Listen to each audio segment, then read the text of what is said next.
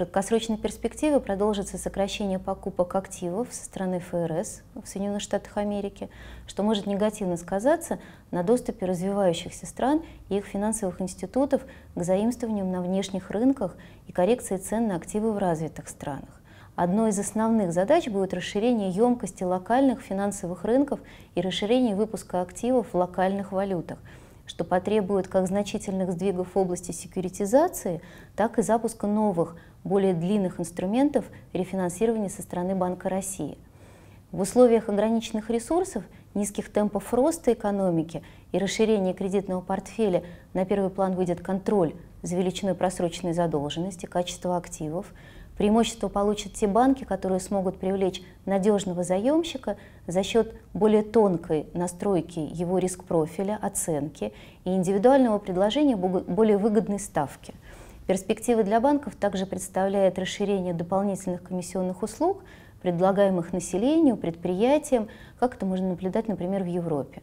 Кроме того, дополнительный вызов для банков в предстоящие годы составит контроль риска ликвидности и риск менеджмента в целом, в отношении риска ликвидности планируется поэтапное внедрение нормативов в соответствии с Базелем-3. Дорогие источники фондирования банковской системы ограничивают потенциал снижения стоимости новых ресурсов, но некоторое снижение стоимости кредита может быть достигнуто. Во-первых, за счет секьюритизации кредитов малого и среднего бизнеса и, возможно, включение данного инструмента в ломбардный список Банка России. Во-вторых, за счет более тонкой оценки кредитных рисков и дифференциации заемщиков по уровню рисков. В процентной ставке для более качественных заемщиков заложены издержки невозврата кредитов менее надежным контрагентам.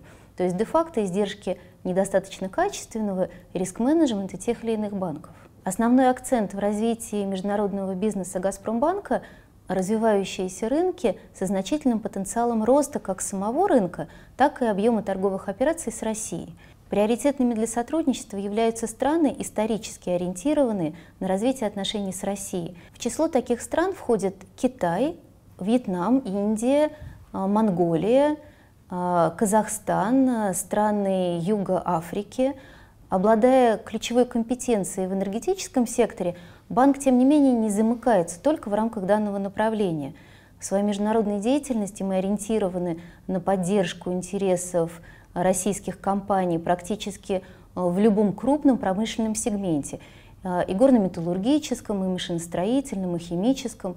Кроме традиционного кредитования, нам кажется важным предлагать продукты, поддерживающие именно международную деятельность клиентов.